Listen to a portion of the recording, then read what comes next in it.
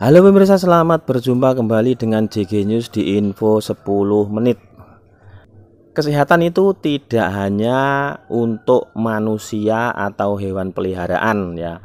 Jadi barang-barang yang non nyawa ya seperti motor itu perlu juga perawatan. Itu namanya menjaga kesehatan. Nah contohnya motor dicuci. Motor dicuci itu untuk menjaga kesehatannya untuk menjaga penampilan, untuk menjaga kesehatannya. Nah, yang nyuci juga menjaga kesehatan, dia termasuk olahraga. Yaitu olahraga menggerak-gerakkan tubuhnya, menggerak-gerak badannya itu namanya olahraga ya. Kalau kita diam aja itu namanya tidak olahraga.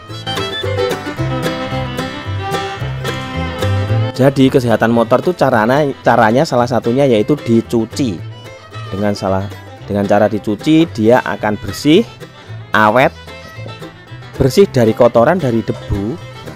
Itu jadi misalnya kayak shock breaker depan itu akan awet karena gesekan debunya tidak masuk tidak melecetkan saat menggesek-gesek ya.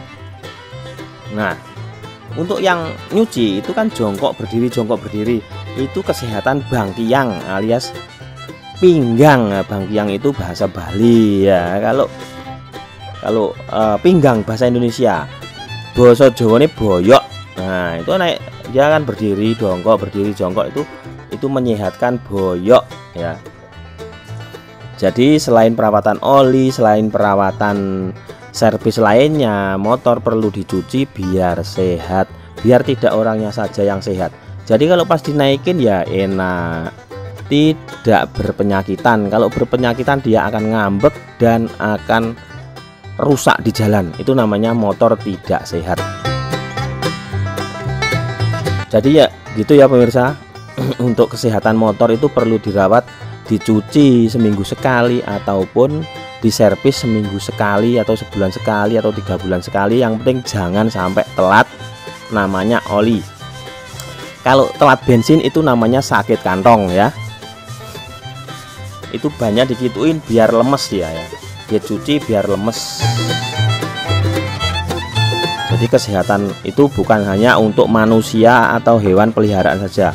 Benda mati pun seperti motor ini perlu kesehatan perlu perawatan biar fit saat dijalankan. Karena dia juga membantu manusia untuk beraktivitas. Untuk kesehatan manusianya sendiri itu perlu dijaga dengan olahraga. Seperti minum jamu dan olahraga gerak-gerak seperti ini informasinya sekian dulu ya pemirsa JG News. Sampai jumpa di info selanjutnya